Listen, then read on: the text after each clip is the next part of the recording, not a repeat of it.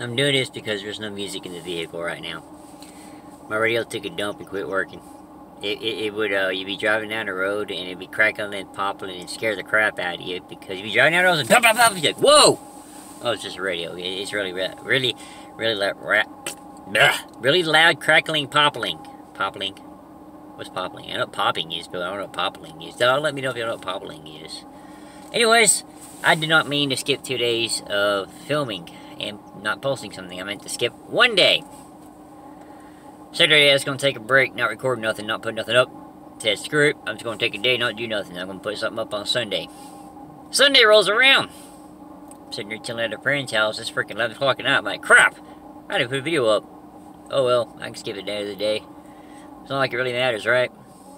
When I'm, I'm very popular. Man, I need to get me new sunglasses, man. These dudes are so daggone scratched up, it's horrible. I think some of it might be fingerprints and stuff too, but I ain't got nothing on me.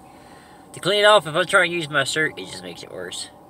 I'm taking a short break from, uh, I just dropped somebody off. I'm taking a short break from my uh, Lyft for a moment. Had to come to Walmart, use the restroom, walk around a little bit, you know, stretch out a little bit. I decided to go ahead and do a little short thing while I'm sitting here. Uh, one of these days, I'm not sure what day, if it'll be today, tomorrow, or what, but one of these days, I do plan on going back to that cemetery. Y'all see me cover the uh, Oakwood Cemetery one more time.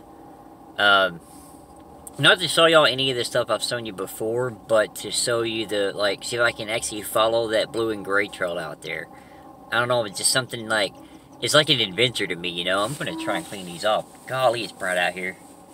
But I want to go out there and try and at least follow the uh, blue and gray trail. If nothing else, just for the adventure of it. You know, something fun to do. Wonder why I'm dressed like I am, because it's in the little 50s outside. That's why I got this jacket on. That looks a little cleaner. Looks a little better.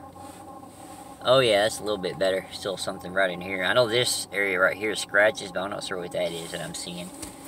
Anyways, uh, I do want to go out there and at least cover that blue and gray trail one time. And, uh, yeah, tear this off while I'm doing that. But, uh, not sure what else I want to say about that. Oh, yeah, uh, here in this local area where I live at, they had, uh, multiple school shootings threatened. And, uh, with today being April 1st, it's stupid, like, it was at, like, 8 o'clock at night when I found out about it, even though it had happened before then, you know, I had found out about it around 8, 9, somewhere in there. Well, actually, it was after 9, because my girlfriend was off work, so it was after 9 o'clock. No, no, I take that back. I found out at my friend's house about 8 o'clock. Anyways, I found out about later in the day that um, multiple schools, let's see, there was Kilgore, Rescross, Chapel Hill, Overton, and Henderson. There's five schools. Five schools. I don't know I'm doing this. Five! Like, you know, like Sesame Street. One, two, three, four, five! Five! Anyways, um, there's five schools they uh, said they found a credible threat uh, on a Facebook page about uh, someone planning to do a shooting at those multiple schools. Well, some idiot had the audacity to say that it was an April Fool's joke. Like, really? If it was an April Fool's joke, then why would the cops be doing like they are? Why were they, like, calling the FBI and Texas Rangers to investigate it if they thought it was an April Fool's joke? But later on, like uh, today, I wake up, go to check on the story. Of course, there's a lot of people because of that, you know, that happened. There's a lot of people that did not send their kids to school. They finally come up and said it was a non-credible threat and it was made by a fake Facebook account, but they're looking for whoever it was that set up the account. Because, you know, even if it is a fake account and whatnot, you know, you can still face credible, you know, even if it's credible or not, you can still face charges for saying that crap on Facebook, you know. And they got their ways of tracking down on who it is. But yeah, this sucks, man, this radio. I was driving down the road and it just started popping and cracking for no reason. And every once in a while you get like a little ee through the speakers and that's it. Besides that, there's no sound, no music, or nothing coming out of these speakers anymore. It's like it, it died. It's like I'm done. Let me see what it's doing now. This is all it does.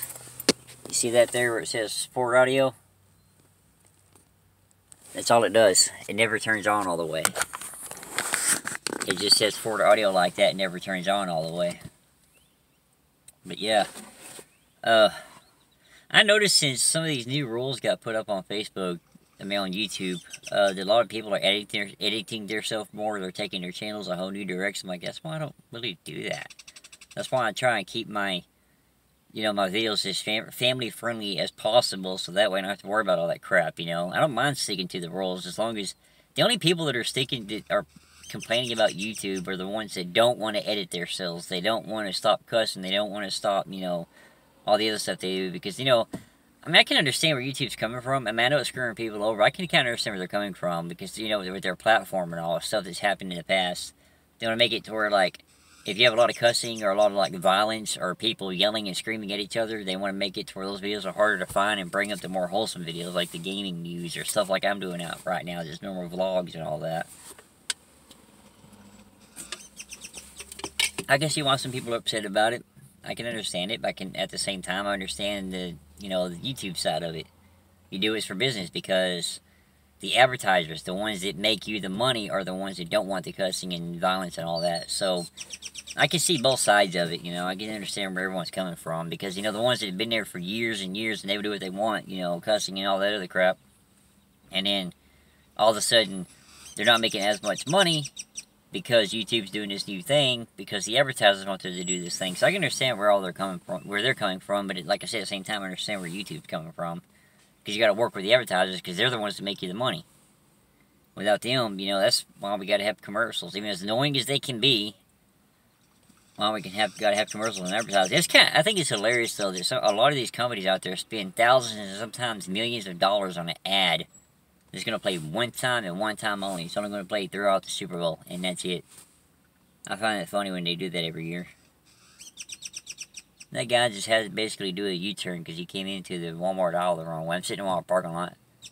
He came in the opposite direction what you're supposed to be coming, and he had to do basically like swing out and come around, almost do a daggum U-turn and get to that parking spot. I've been guilty of it myself. I mean, it bugs the crap out of me when someone comes down the wrong way, but I will admit, I've been guilty myself sometimes not paying attention and turn down. Next thing I know, I'm in the wrong line. You know, I'm going down the aisle the wrong way. Car alarm. Can you see it? I think it's behind me. No, it's over there.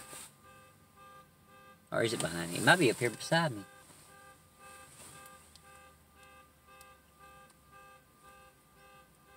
Okay, that's the echo, so it's coming from that way. Hey, don't.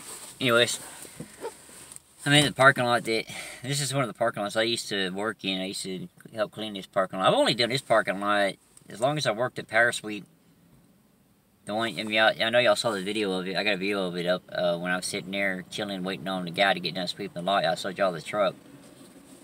I always put it up the lot over in Longview. This is here in Tyler. I did this lot a total of six times the whole time I was working there. Because I never took this route much. I mean, we took the route that came through Tyler, but we never came through this store very often. Or at least the nights that they came to the store was my nights off.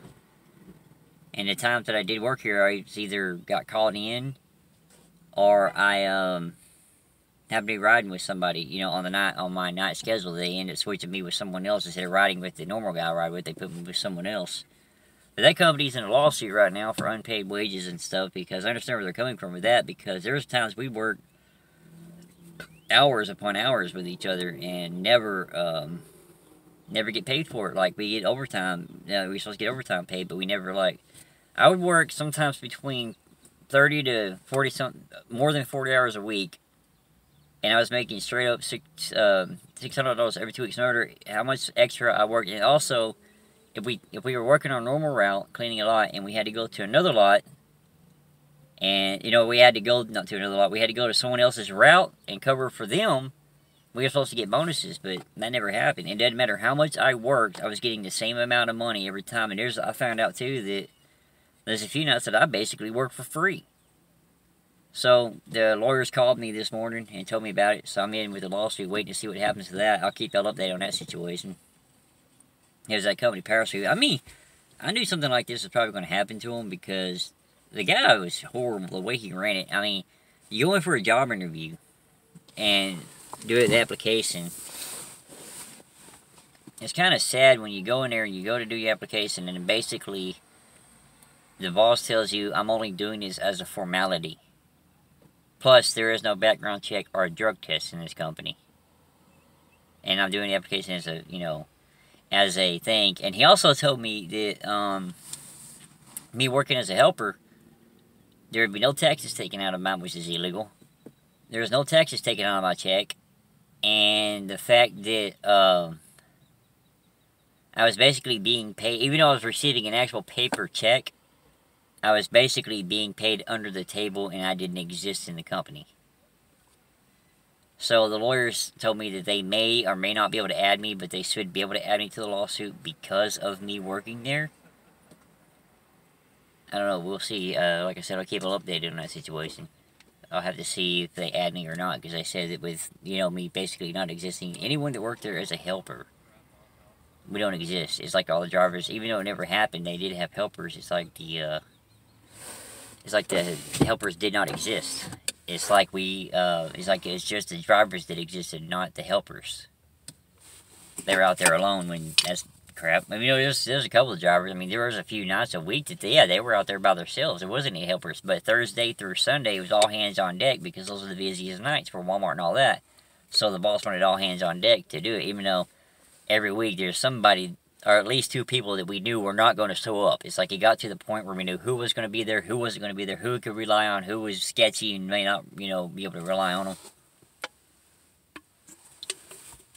I'm not sure if you want to use the word sketchy or if you can just use the word flaky on that, you know. Because there's some people that would show up faithfully every time. I mean, we knew exactly what time they would be there and everything. I mean, they may be a little later, but we knew they would be there and what truck they were taking out that night. But there's other people, you had to guess if they're going to be there or not.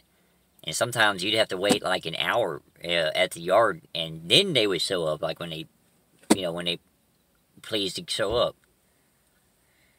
Like I said, I'll keep y'all updated on lawsuit and let you know what's going on with that. And if I do get any money out of it, I'll let y'all know. But I'm not going to tell you how much I get out of it. If anything, I doubt I get it. I mean, I'm not having any high hopes for it because the way lawyers were talking. I don't have any eye hopes right now because I said they, they, they are for sure doing the drivers because they have paperwork on them, pay, you know, pay stubs and all that. Even them, they were, you know, some of the drivers were not even have taxes taken out of their checks either. But, you know, it's like, yeah, you get more money that way, but at the same time, that's illegal. I think my headset just tried to connect to the phone. Usually that means somebody's calling me, but I guess it's not. Anyways, um, y'all got the update. Y'all know what's going on. And uh, yeah, I'll pop this up there on YouTube. And uh, please like, subscribe. If you're not subscribed yet, subscribe for more videos like this. Or more, uh, I'm going to start doing more gaming again soon. It may be recorded videos and not live because of the situation at the house right now. But I might be able to find a way to do them live. I'll figure that out. Like I said, like if uh, you want to, give me a thumbs up. Whatever on that. Comment if you want to, if you want to interact with me. And if you're not subscribed already, please subscribe. Uh, until next time, right back.